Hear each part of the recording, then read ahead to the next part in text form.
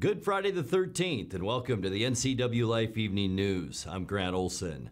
Before we get to today's top news stories, let's take a quick look outside our weather window. And once again, we had a ver- inversion happening around most of north central Washington, especially right here in the Wenatchee Valley and up in Okanogan County. And that's where this shot was taken this afternoon. It's from our Billy Goat Sky-Fi tower camera up in Okanogan County. Down below that, Brewster and Pateros. You can just see the mountains uh, in the middle of your screen. That's the Canadian Washington border. Boy, that's about it. We did see some clouds above that inversion as well. And that really kept our, our temperatures down. And as far as the weekend goes, not a whole lot of change. I do think we'll see much more sunshine here in central Washington, though. It will be drier, but we can expect some patchy fog each morning and maybe some low clouds, and then partly cloudy and maybe even mostly sunny skies. By the afternoons, it will be cooler, too, and we'll talk much more about that coming up a little bit later on. And now, a few of the stories we're following for you tonight, and what we hope is not a preview of travel conditions for this weekend. It was a tangle of twisted metal and backed up traffic last night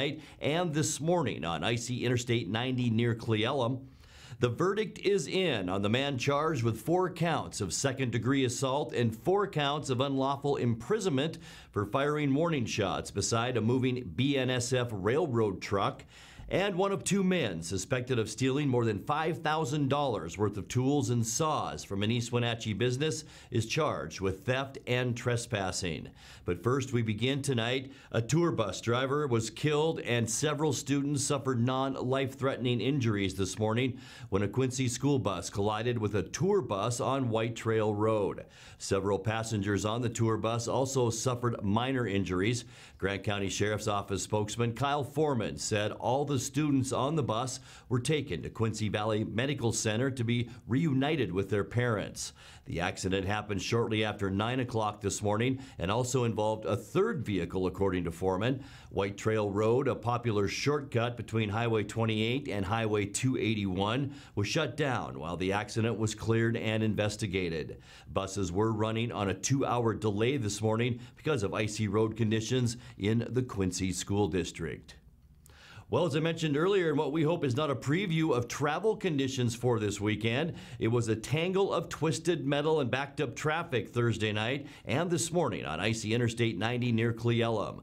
The Washington State Patrol didn't report any serious injuries from the multiple uh, spinouts that forced the closure of westbound lanes for more than an hour last night and the eastbound lanes for almost two hours this morning. They were in the same area, both by Sparks Road. Traffic was diverted through During those closures. Well, a Chelan County jury is weighing the fate of the Chumstick Valley man who confronted a group of railroad workers with an assault rifle. James Carl Brown's case went to the jury late this afternoon. NCW Life Jefferson Robbins has the verdict. Defendant is guilty of the four charges of assault in the second degree for those workers and for unlawfully imprisoning them by his actions as well. His firing of that weapon was in defense of himself and defense of his property. He didn't point the gun at them and say, get off the property. He didn't threaten to shoot them if they didn't get off the property. He was terrified at that instant moment, and it all happened at once, and he cannot be blamed for that. In the end, the jury sided with the defense. Six men and six women say James Carl Brown, a 45 year old National Guardsman who discharged an assault rifle while confronting a BNSF railroad crew last year, is not guilty of four counts of assault and four of unlawful imprisonment. Brown admitted arming himself late that night in October 2018, confronting the workers when their crew truck crossed near his home, and firing at least three shots into the ground to stop them from driving forward. But after his arrest by Chelan County deputies that night, he said the truck driver tried to run him over, and he did not act illegally. Uh, I don't think it's right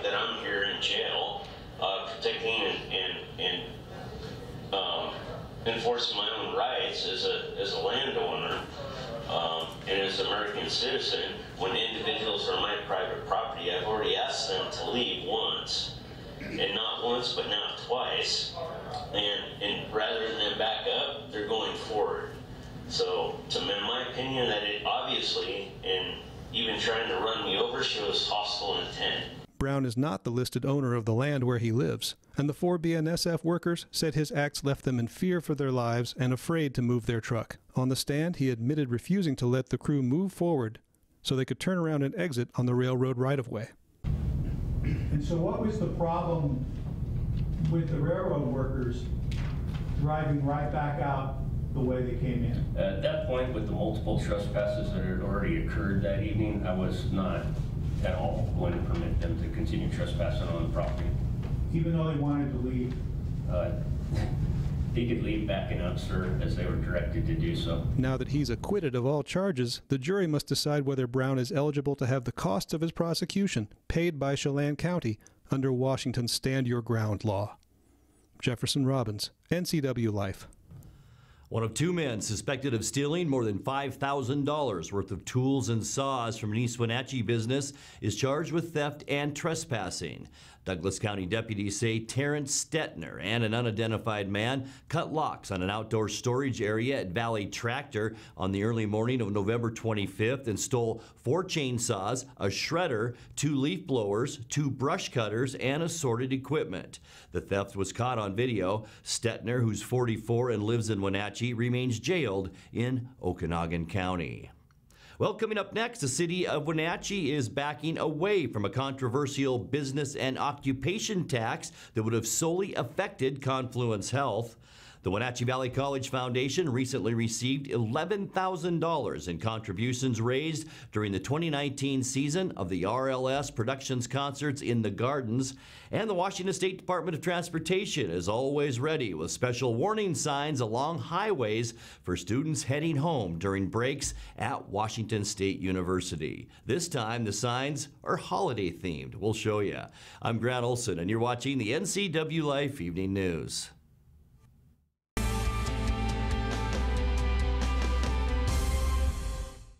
Some jobs are a calling. They take passion and a devotion to the community. They're here for your kids, guiding the next generation of leaders. At Gesa Credit Union, we help you support local teachers. Every purchase you make with the Gesa Local Heroes Affinity Debit Card, we make a donation to select teacher organizations. After all, we can never repay them, but we can do our best to help a little. With the Gesa Teachers Affinity Debit Card. If you want to work in IT, here's a tip. Employers value IT certifications. 91% say they play a key role in hiring. 72% require them for certain job openings. Improve your odds of getting the job. Enroll in the Computer Networking Systems program at Charter College. In 14 months, you could earn an associate degree and six IT certifications. Get started at chartercollegeIT.com, where we work to get you to work. It's estimated that one third of Americans do not have a financial plan. At DA Davidson, their advisors are working to change that because they understand the importance of planning for the future. At DA Davidson, they believe in partnering together to build a strategy tailored to your needs. They spend the time and have the knowledge to help keep your financial future on track. Let DA Davidson Financial Advisors of Wenatchee put the strength of advice to work for you.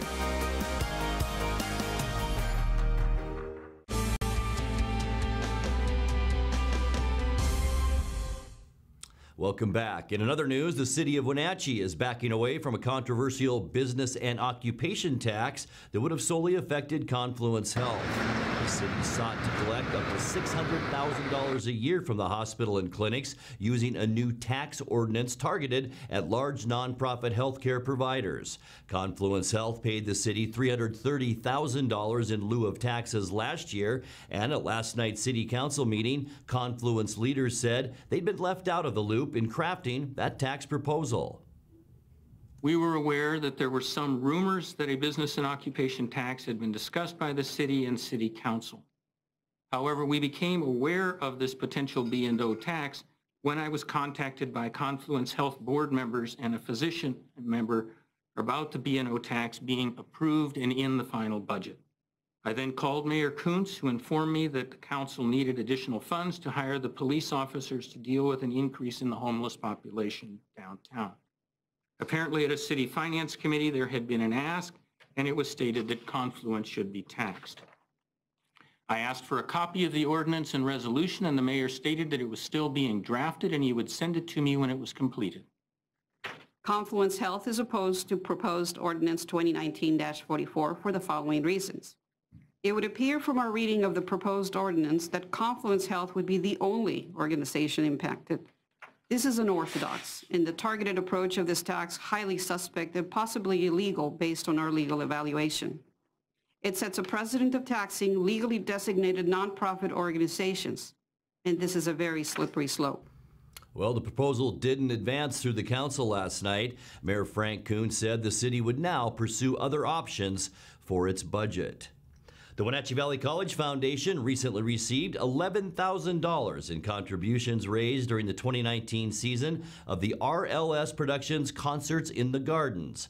Founded by Robert and Catherine Rio Sandage, the RLS Productions Concerts in the Gardens is a five week summer concert series held annually through July and early August at Ohme Gardens in Wenatchee. Over the past six years, $58,000 has been raised to provide scholarships and establish an endowment for students at Wenatchee Valley College. RLS Productions began raising funds through the summer concert series to establish an endowment to provide scholarships in perpetuity. Funding has come from direct contributions and ticket sales. The Washington State Department of Transportation is always ready with special warning signs along highways for students heading home during breaks at Washington State University in Pullman. This time, the signs are holiday themed, of course. You probably need to be a fan of the movie A Christmas Story to get the last two signs. You're watching the NCW Life Evening News. Coming up next, tonight's feature story and your complete local weather forecast. That and much more still to come on the NCW Life Evening News. Stay with us.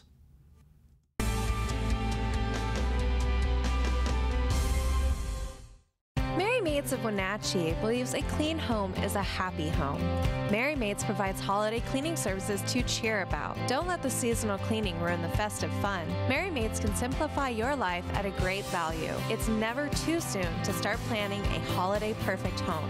Mary Maids of Wenatchee happily offers a worry-free guarantee. Locally owned and operated, let Mary Maids do the cleaning while you focus on your family and friends. Call Mary Maids today. Hi, I'm Ricardo, and this is Amanda, and we are from Impact Auto Sales. where you can expect a hassle-free car buying experience. With our wide selection of used cars, trucks, and SUVs, let one of our friendly sales staff help you find the vehicle that fits your lifestyle. We have financing available for all credit types and great low rates for first-time buyers. Call us today at 888-8000 or stop by 3522 State Highway 97A in Wenatchee. Impact Auto Sales, where we strive to make an impact on your life and not your wallet. Are you like many who are lacking in their retirement plan but are skeptical to talk to an advisor? Are you concerned about where you should put your money or who to trust? At Solomon Financial, we are more about the people we serve than policies or products. We are a fee based fiduciary with the mission of giving you the peace of mind so you can live the retirement of your dreams. If you have any of these questions or concerns, we'd welcome you to come see us.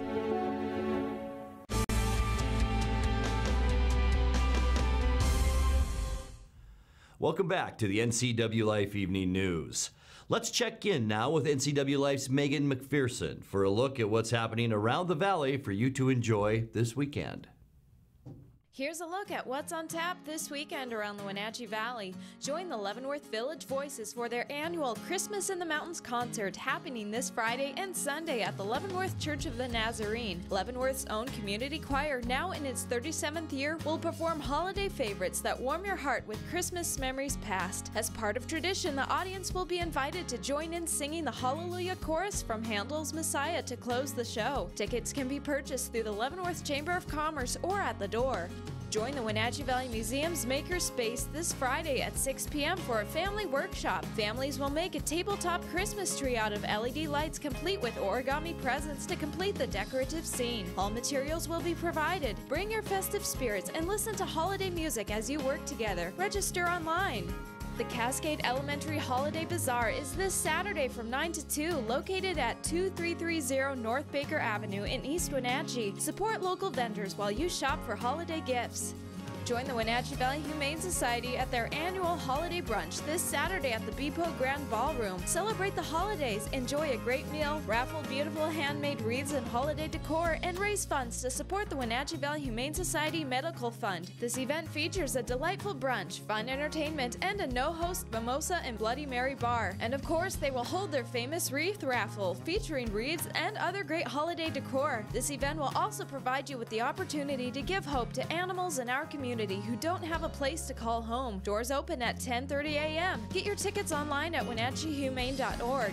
And finally, join the Wenatchee Valley Museum and Cultural Center for their holiday tea at the beautifully restored historic Wells House and enjoy Christmas with the Clarks this Saturday at 12:30. The house will be decorated festively for the holidays and period-specific attire is encouraged. Bring your friends and take your afternoon tea sponsored by Cha Fine Teas and a light luncheon sponsored by the Hilton Garden Inn while listening to Jeff Sandberg play soft saxophone holiday favorites. There will be prizes to be won and a live auction of decorated holiday wreaths. Go online to register. For more information on this weekend's events and others, visit the community calendar at ncwlife.com.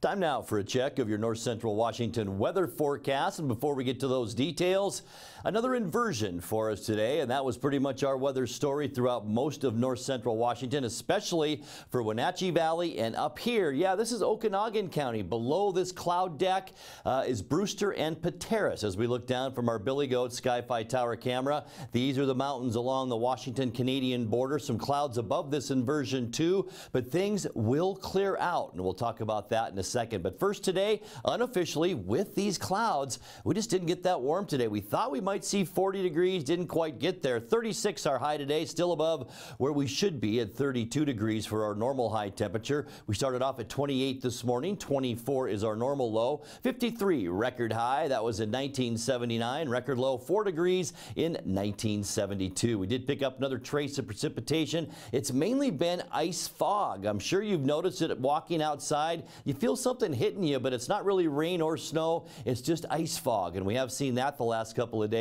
Precipitation now at 6.76 since January 1st. Sunrise this morning at 7:40, and the sun set this afternoon at 4:10. Taking a look at how your tomorrow shapes up. Let's just get right to our surface loop tonight. Mostly cloudy skies. We will see some isolated snow flurries. Just that little bit of snow activity could make its way across the Cascades and into the Wenatchee Valley. Like I said, only about a 20% chance for that. And then as we kick off our weekend, really not bad. Partly cloudy skies. We'll see calm, very calm wind conditions and mild high temperatures. Keep in mind our normal high, remember, is in the lower 30s, and we'll be well above that for Saturday. Still nice for Sunday to end our weekend, too. Calm conditions and mild. A little bit breezier with these uh, isobars, a little bit more tightly packed offshore. They move onshore a little bit Monday, so maybe a little bit of breezy conditions on Monday, but sunny skies. We will see cooler conditions as well. Huge area of high pressure parked itself down in the desert southwest,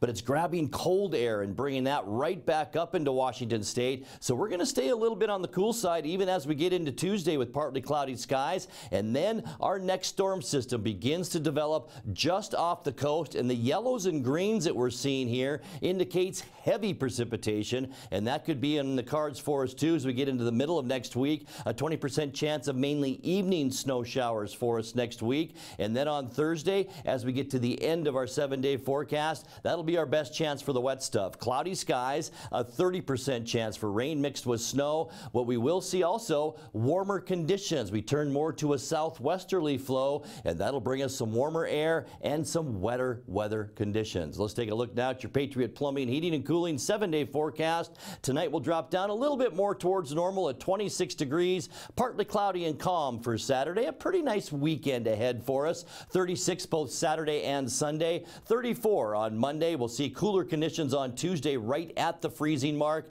And then things get a little wet again by Wednesday and Thursday next week. Our best shot for snow will be on Thursday with a 30% chance then and high temperatures of 36 degrees. And that's a look at your local weather forecast. Coming up next, tonight's sports report with Eric Granstrom and more. The NCW Life Evening News continues right after this.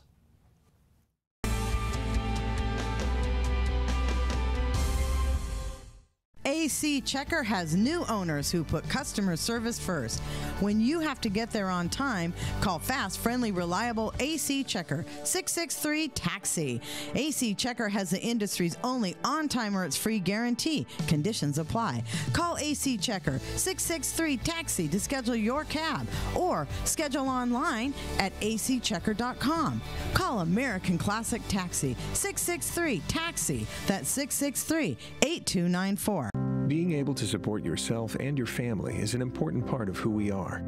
We all need to know we're able to provide ourselves with a secure future. Some job seekers have a harder time finding work. That's why Goodwill's Employment Connection Center is here, a free walk in job search assistance program designed to help people find work. When you shop at or donate to Goodwill, you're really being a job creator, and that's a good thing for everyone's future. Goodwill. There's more behind the store. I'm Tom from Alpine Air Heating and Cooling. At Alpine Air, we think of ourselves as customer service oriented retailers. When you make an appointment, please visit our store, meet our people, see our shop. We are serious about heating and air conditioning. Carrier and Alpine Air are offering huge factory rebates and financing options for all your needs. Turn to the experts at Carrier and Alpine Air. Call for your free replacement estimate. Heat and air, call Alpine Air 662 6846. And now it's a sports update on the NCW Life channel. And a happy Friday to you. We have a very busy weekend of sports coming up. First, let's take a look at the Les Schwab Prep basketball scoreboard from last night. In girls action, Cashmere had no trouble downing Omak 61-28. Aniak cruised to a 51-24 win over Cascade Christian. Cle Elum Cascade games had to be postponed. On the boys' side, Cashmere and Omak had a great battle at Rondon Memorial Gymnasium. Bulldogs from the south came out on top 58-53. Girls bowling yesterday, Eastmont shut out Sunnyside 4-zip. Eisenhower bounced back from its loss to Wenatchee with a 4-0 win over Moses Lake. Now, coming up today, Wenatchee and Eastmont in Tacoma for the uh, Narrows Plaza, getting ready for what's happening tomorrow. But first, they're going to face Graham and Wilson in a warm up today. Tomorrow's Tower Classic begins at 9 o'clock in the morning. On the wrestling mats last night, in a battle of two of the top teams in the state, Sunnyside edged Moses Lake 38 30. Eastmont top West Valley 59 to 18. By the way, in that match last night, if you were there, there was a wrestler that was injured. Uh, they had to take him on a backboard to the hospital. Turns out he's okay, was able to ride home with the team team last night. So that's good news there. Wenatchee surprised Davis, also expected to be one of the top programs in the state. 54 25, the final in that one. Coming up today, Moses Lake is in San Ysidro near San Diego for the El Cajon Invitational. That continues through tomorrow. Also tonight, Mount Baker wrestling at Cascade at 6, then Cashmere at 7 o'clock. Coming up tomorrow, things get really busy. when Wenatchee travels to Kitsap for the Olympic duels beginning at 9 o'clock in the morning. Eastmont, Ephrata, and Quincy are in Spokane for the West Valley Eagles Wrestle Rama. That starts at 9. 12 teams will be in Cashmere for the Cashmere Invite getting underway at 10. Cascades on the road for the Granger Invite at 10 o'clock. On the girls' side, wrestling tournaments include Wenatchee at the Judy Emery Invite in Foss. That starts at 8 o'clock tomorrow morning. Cashmere, Eastmont, Ephrata, Moses Lake, and Quincy all at the Warden Invite starting at 10. Also, a lot of basketball games on tap for the weekend. We'll start off on the girls' side coming up tonight. Wenatchee hosts Hanford. Uh, that's underway right now. Four games have 5:45 start times, including Ephrata at Wapato, Quincy at Grandview, Okanogan hosting Shalana, Waterville, Mansfield at Cascade, Manson and Bridgeport tip it up at six. Boys side tonight, Wenatchee's hosting Hanford at seven. 7:15, it's Ephrata at Wapato, Grandview hosting Quincy, Chelan's and Okanogan, and Cascade welcomes Waterville, Mansfield. Manson at Bridgeport boys get underway at 7:30. All right, catch your breath. Coming up tomorrow, Selah plays at Ephrata at 3:30. Also, it's tip time for uh, Quincy and Prosser. 545, Moses Lake hosts Davis. Eisenhower plays at Eastmont and Entiat entertains Soap Lake. Chelan girls will see Granger at 6, while just up State Highway uh, 150, a few miles, Manson hosts Waterville Mansfield. Turning to the boys' action tomorrow, Wenatchee hosts Ferris at 245. Selah plays at Ephrata and Quincy hosts Prosser at 5. 7.30 tomorrow night, Davis at Moses Lake, Ike at Eastmont, Granger at Chelan, Waterville Mansfield at Manson, and Soap Lake plays at Entiat. Well, the Wenatchee Wild will try to snap a three-game losing streak tonight when they host Salmon Arm at the Town Toyota Center. Silverbacks, by the way, have lost eight straight coming into this game here tonight. Last time Salmon Arm won back on November 17th against Wenatchee. Puck drops at 7.05. Also, Teddy Bear Toss Night tonight for Operation Santa. Bring a new stuffed animal, teddy bear if you like, and throw it on the ice after the Wenatchee scores its first goal of the game. Wild, by the way, be back on the road tomorrow for a 6 o'clock game time at West Kelowna. Well, Seahawks travel to Carolina for a matchup with the Panthers Sunday morning. With the injury to Rashad Penny last week, CJ Prosise and Travis Homer will see more playtime this weekend. Offensive coordinator Brian Schottenheimer says it's nice to have some depth. That's the beauty of the depth that we have on our roster. The beauty of having a CJ Prosise that you're like, okay, you know, I'm a huge CJ fan. I mean, the ability just to make people miss, the ability in the passing game. You obviously see we've used him in third down situations before, two-minute situations before. Uh, he's got a huge, huge upside. I think he's excited about the opportunity. And then uh, Travis is a guy that we've liked the whole time. So uh, both those guys, we feel really good about just the way they play. Travis, uh, very physical, uh, good understanding of the protections and stuff already, you know, being a young player. So uh, you hate to see it for Rashad, uh, having a great, you know, last couple games, but uh, those guys will step up and they'll be ready. Seattle had trouble protecting quarterback Russell Wilson, gave up five sacks. The offense struggled throughout the game against the Rams. Schottenheimer says falling behind early takes them out of what they want to do. You know, the thing with protections that's so hard is, you know, it's, it's different than a guy drops a pass or a quarterback misses a throw. It's so inclusive of everybody. You know, I mean, everybody's involved, whether it's the quarterback with his drop. Uh, there's certainly times that Russ could have gotten the ball out of his hand. Uh, the receivers not getting open sometimes. That, you know, that, that affects sacks sometimes. Um, so it's, it's hard to put, you know, okay, hey, we've been sacked X amount of times. Last game, you don't want to play the Rams the way we had to play them. I mean, they're really good up front, and uh, they were able to tee off on us. But uh, we use all those things. I mean, we, we, we chip people. We use cadence variations. We, uh, you know, use different you know formations and stuff. But uh, when you get in certain games against teams that uh, like the Rams and where they're getting after you, it, it, can be difficult. And that's where again we're always at our best when we're able to play that balanced football and you're sitting right there and we can use our runs and our play passes. Uh, when the score gets the way it does against the Rams, it's hard. Seattle, Carolina, 10 o'clock Sunday morning. You can watch it on Fox. Just a quick reminder Les Schwab Community Toy Drive continues at uh, Hooked on Toys tonight till 7. Back tomorrow at Hooked on Toys from 10 to 4. Come on out and help join the party and make a difference in some kids' lives right here in the Wenatchee Valley. That's Sports News. I'm Eric Granstrom. Have a great weekend. Grant, back to you. Thank you very much, Eric. And finally, tonight, firemen are well known for getting cats out of trees, but in Quincy, it's police who are now known for getting a cat out of a store. Officer Abraham Guzman responded to a call at Quincy Market about a cat running loose in the grocery store. Guzman was able to corral the stray cat and take it to the Quincy Animal Shelter, where it's now hoped that its owner will find it or an adoptive owner will step forward. Now let's check in with Dan Coons for a look at what's coming up Monday morning on Wake Up Wenatchee Valley. Dan? Thank you very much, Grant. I hope everybody has a lucky Friday the 13th. I hope you have a fantabulous weekend. Don't forget to take us along this weekend. We're portable. You can watch us anytime you want. Come back on Monday morning, get your workday started with me, Dan Kuntz, and my guests, Ken Osborne and Ali Shank from the Wenatchee Apple Sox. Anytime I can talk baseball, Apple Sox baseball specifically, I'm a happy guy. Plus, we'll have your weather forecast, your past reports, sports, and everything that you're used to. Start your day the local way, Monday morning live at 7 a.m. right here. It's Wake Up Wenatchee Valley. Grant, back to you. Thank you very much, Dan. And that's going to do it for our newscast tonight. For more on these stories and other news from around North Central Washington, you can find us on Facebook or our website at ncwlife.com. And remember, if you see news happening, we'd like to hear from you. You can send us an email at news at ncwlife.com or give us a call at 888 NCWL. That's 888 6295. I'm Grant Olson. Thanks for joining us and have a great weekend. The CW Life Channel is your home for local news, local weather, and events including live local high school sports.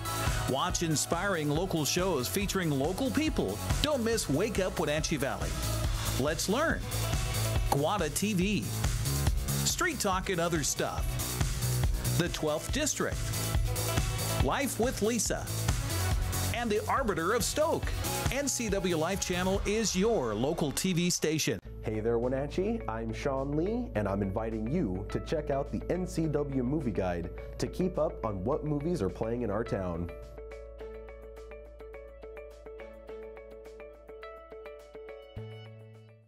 I'm Jenny Kerstetter, and you are watching the NCW Life channel.